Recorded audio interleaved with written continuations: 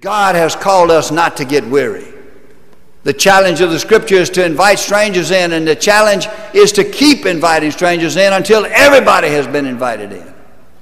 And stay at it because we need to be the light of Christ. That's what gives life to us, that's what gives meaning to us as Christians. We know that the scriptures tell us that we are not saved by good works. We are saved by the grace of God, what He did for us through Christ on the cross. We are saved by the blood of Jesus, but saved for what? Saved to get an RV, get a fishing pole, and go recline and wine and dine and shine on the beach?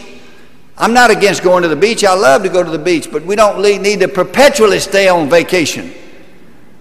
We need to go to vacations and get renewed and refreshed so that we can go back at it and do God's work out in the community. So that people who see us say, My goodness, do you see what's happening over there? That's a bunch of Christians over there doing God's work. Isn't that exciting?